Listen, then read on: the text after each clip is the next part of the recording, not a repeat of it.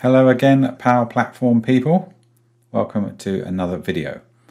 In this video, I am going to show you how you can create and fill a Word document directly from Power Apps via a flow without having to use any premium actions whatsoever. So I will start by showing you a demonstration of what it does and then I'll go into how it does it. So I have got this simple Power App here and I will type my name in and sign it.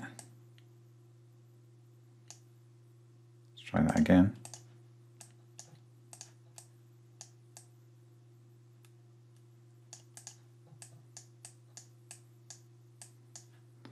Okay, so I'll submit that and then I've got a SharePoint folder here in which that document should land any moment.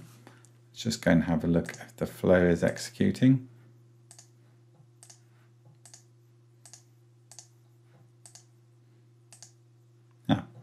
The file has just turned up, so let's open that up. And there is our document. The date has been filled in, my name, and then my signature has been thrown in as well. So let's have a look at how it is done. So the first thing I've done is created a Word document with my template in it effectively. Um, here's the three fields and Notice that the fields are quite particular. I've given them some kind of unique identifier, date 12345, to make it easy to find. When you put in your unique identifier, make sure that you have it all in lowercase or all in uppercase. I'll explain why in a moment, but um, it just makes it easier to find later on. And then down here, I have just put a signature box which is just a PNG that just says Sigbox in it. So I just made that in Paint. And I actually made that image the same dimensions as um, my Power Apps input box, um, just to make things a bit simpler. So that's all I did in there, those three fields, one, two, and the image. So you might not realize this, but if I copy this Word document and rename it to .zip, you'll find that Word documents are actually zip files. if we go into here, there's a couple of interesting folders. Let's go into the Word folder. And then in here, there is a media folder.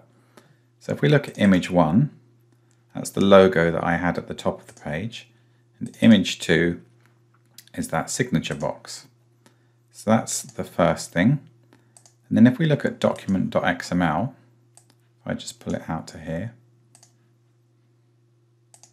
and then edit that in Notepad++, this is an XML representation of that document. So if I search for name one, two, three, four, five. Here we can see it here. And we've also probably got date one, two, three, four, five somewhere there. Now, if this was, if I had an uppercase D at the start of that, this wouldn't be there. There would be another field over here that just said D in it or something like that. And then this would just say 8, 1, 2, 3, 4, 5. So keep it all lowercase and we should be okay. So let's move on to the next step. So in my SharePoint document library, I have got a folder called template in which I have uploaded the entire contents of that zip file.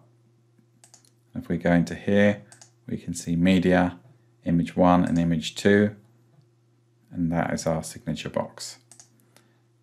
And that is the logo. So the aim is that we want to replace that image two and we also want to use the get file content action to grab the content of this document.xml. Then I've got another folder called output, which is just a copy of this template. We're going to keep overwriting parts of that. So then I've got a completed docs folder, which is where that example just landed. So let's have a look at the flow.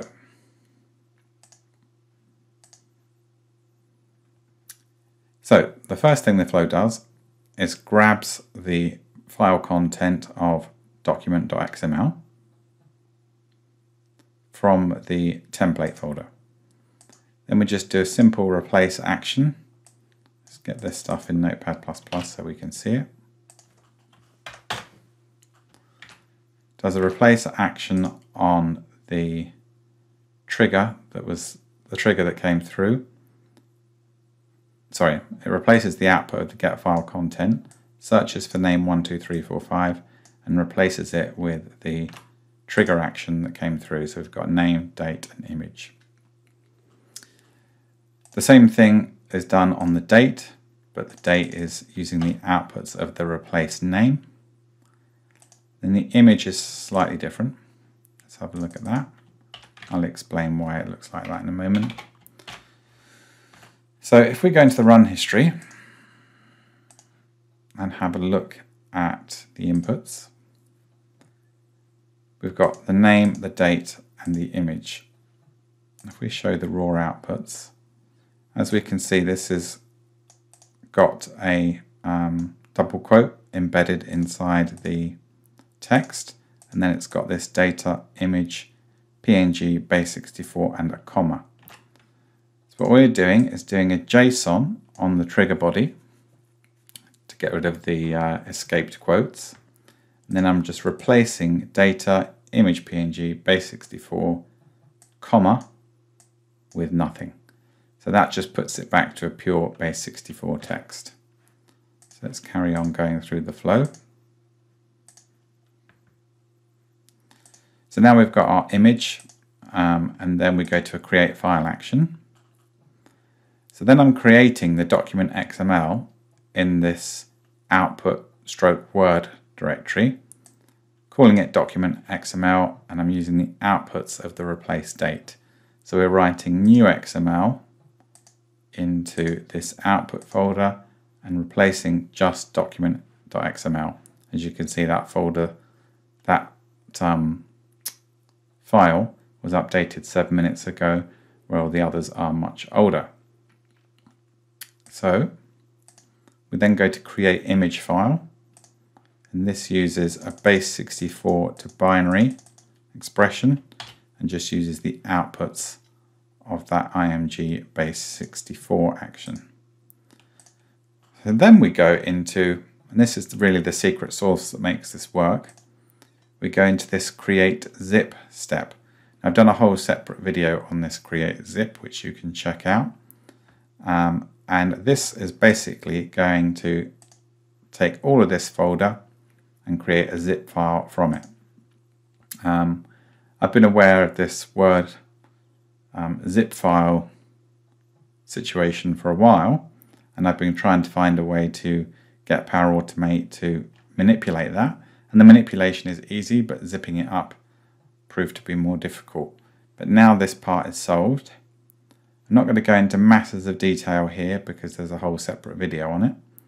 Um, but the important steps are that we download the zip file that is created for us and then I'm just creating a Word document in our completed docs folder and I'm just using the utcnow.docx you would probably use a file name in production that made a bit more sense. And then we use that base64 to binary again to write the content that we've got back from SharePoint that gave us our zip file. So, um,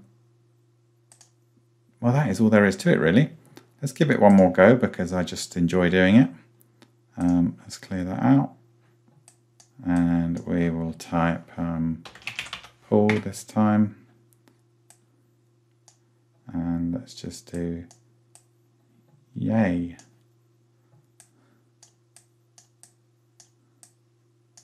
Power.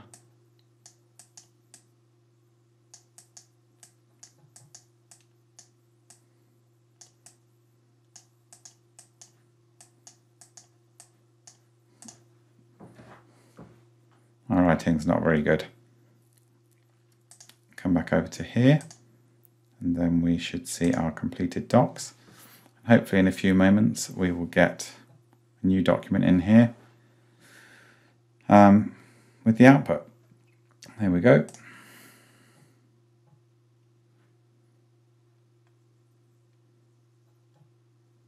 It's pretty good, isn't it? So hopefully you can now give that a go yourself. Essentially, this create zip part is the most complicated, but if you go to my blog, which I will leave a description for in the link below, there is a whole video and blog post that shows you how to create these zip files quite quickly. Um, and once you've done it, you'll see that it's actually quite easy to do. I thought I also ought to quickly show you how this um, Power App submits to Power Automate. On this submit button, it runs the flow fill Word document from Power Apps and supplies it with the three parameters. That's the text um, input.text, the date picker selected date, and then the pen image has is wrapped in a JSON expression. Pen input one dot image include binary data and that is all you need to supply. So um, try have a go do let me know how you get on because I'm quite interested to see how people will use this. And this could be taken much further. I'm going to have a play with that word XML to see if I can get some more advanced actions done like repeating content and repeating content with images. Um, so hopefully this opens the door to some more possibilities with Word files. The other thing is, is that Word files are limited to 10 meg and I've given it, given it a little play and you can go over the 10 meg limit using this method. So best of luck, let me know how it goes and I'll see you in the next video. Cheers, bye bye.